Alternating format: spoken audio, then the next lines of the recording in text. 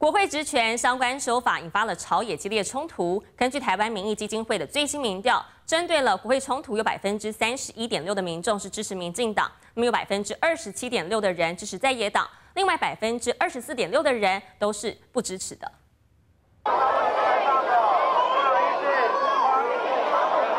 五二四当天，立法院内闹哄哄，而在外头有一样火药味十足。青岛东路上头聚集一大堆年轻人，表达诉求，希望能将国会职权相关修法退回重审。我虽然说我们投了，对我们并没有做出任何的违背我们意愿的事情，就是，但是蓝白这些立委让我们非常的气气愤。我是从屏东上来的。立法院朝野攻防激烈，已经连续好几次爆发激烈冲突。国人对于一场内立委们拳脚相向，普遍观感如？如何呢？根据台湾民意基金会调查，有百分之三十一点六的国人支持执政党，百分之二十七点六的人支持在野党，都不支持的有百分之二十四点六，百分之十点七的人没有意见。另外，国人针对藐视国会罪这项增修规定的态度也出炉，非常赞成者占百分之二十七，还算赞成占百分之三十，不太赞成的有百分之十二，不赞成的有百分之十七，没意见还有巨大的。加起来有百分之十三左右。行政官员拉东扯西，